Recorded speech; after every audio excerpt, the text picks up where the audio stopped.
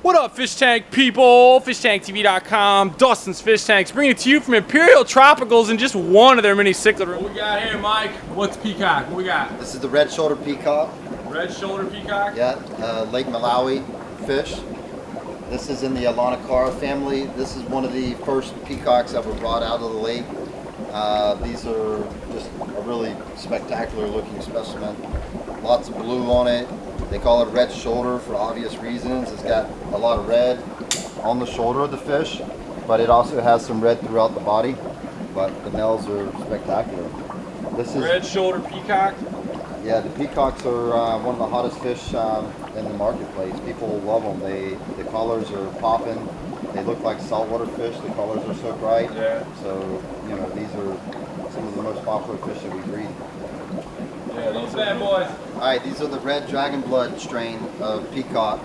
These are um, Aulonocara species. This is a man-made strain that was line bred to have these colors.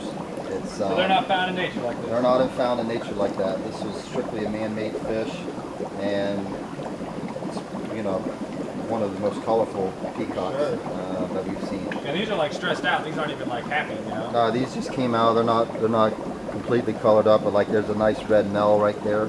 That's the color that everybody wants. It throws also a pink. Like this is a more of a reddish pink, but amazing fish.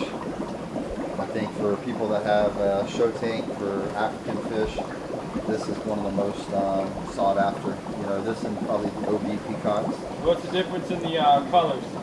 So you just have uh, different grades of, um, you know, red, orange, pink, and this particular line of fish that we have, we got from uh, uh, D. Koshi, who breeds fish, um, you know, um, at his house, and he's done a really good job, you know, bringing in good fish to breed. So I ended up getting these from him, and you know, he's uh, he's a phenomenal breeder. He's done a good job working with the line. So every generation we try to improve on the color.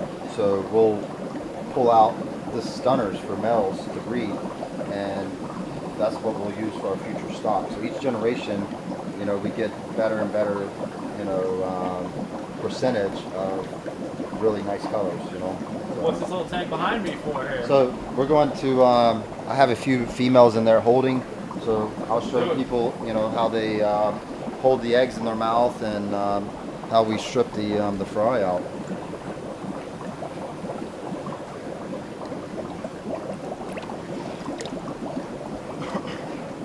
So this is, um, this is the female, and you can see she's got a little bit of orange on her body, but what, Hold her up a little bit. yeah.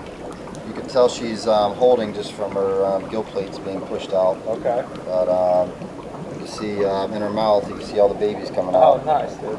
Yeah. Wow. So what do you do? Do you guys do that and then raise the baby separate? Yeah. So this this Like- is the size that we uh, we like to um, have the babies at. We let the parents raise them.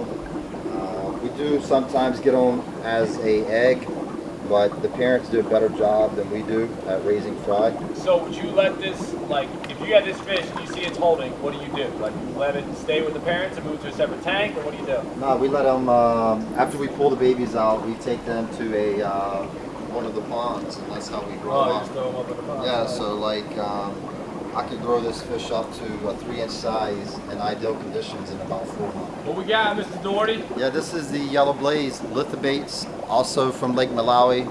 These um, could go good with peacocks and haps, haplochromis. This is actually a haplochromis species. They call it the Yellow Blaze for obvious reasons. It's got just a nice, bright yellow streak across its head. It's um, one of the most popular fish that we have. I mean, um, this is a top, top fish for us. It's not overly aggressive. That's what people like about the, you know, the peacocks and haps is they're not, um, they are, you know, semi-aggressive, but they're not like the uh, masonite type aggressive. So uh, these these are tanks that uh, people set up, and you know, they have a show tank show males. These are, these Yeah, are yeah, yeah. showpiece of people's tanks. You know?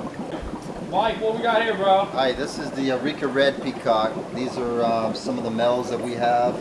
The big one in there is our uh, adult breeding male, which Um, He's not for sale. he's not for sale, but the juveniles are, and they're they're nice. I mean, that's like the three-inch size that we uh, we offer, and this is, you know, to me, I mean, one of the nicest peacocks. You know, it's got a nice yellow blaze on the top fin, a lot of uh, red in the body, blue. It's just uh, a really nice fish. And these are um, the ones that can go together with other peacocks and half. So the aggression level is, you know, I would say um, in the mid-range, not high. Imperial Tropicals is my home away from home. So you all said you wanted more special. Here's a little special action for you cichlid people. I talked Imperial Tropicals into giving you 10 species, 1, 2, 3, 4, 5, 6, 7, 8, 9, 10 species of fish. Buy one, get one free, African cichlids. Click the link below for details. Yep. 10 species of fish, buy one, get one free. Use the promo code Dustin, save 5% on top of that as well. Ends tomorrow at midnight, ends May 25th at midnight. Buy one, get one free. 10 species of African cichlids on ImperialTropicals.com. Everybody have a fabulous freaking week. Tank on. Later.